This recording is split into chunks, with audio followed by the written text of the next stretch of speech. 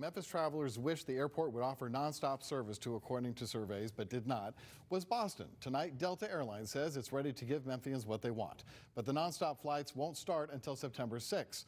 The service to Boston was originally scheduled to begin in 2020, but you guessed it, the pandemic got in the way of those plans.